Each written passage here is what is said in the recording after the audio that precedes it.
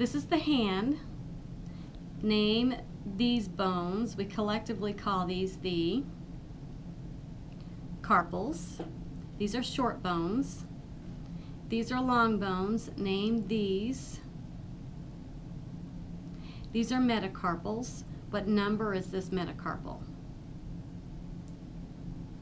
This is metacarpal number one, and then two, three, four, five. Name these bones. These are phalanges. Identify this phalanx. This is the proximal phalanx number two. Then we have a middle and we have a distal phalanx. This is number, these are two, this is three, this is four, this is five.